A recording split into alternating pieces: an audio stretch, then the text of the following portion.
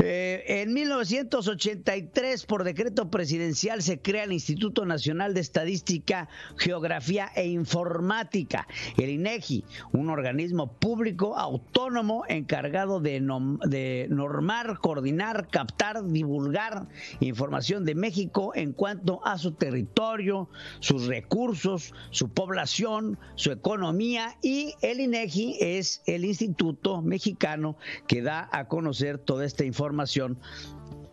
y las características del país.